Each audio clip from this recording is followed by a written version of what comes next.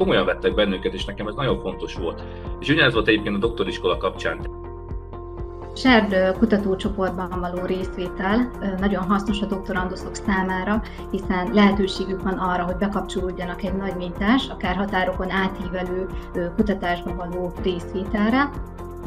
Mindig ott voltam, mindig figyeltem, tanultam, igyekeztem aktív lenni az órákon, és nagyon sokat adott ez az időszak. Ott van mögöttük a tudományosság, ott van mögöttük az, az óriási nagy bölcsesség és a, a hatalmas tudás, és ők is azon vannak egyébként, hogy ezt minden inkább átadják, de ahhoz kell, kell az, hogy én is komolyan vegyek.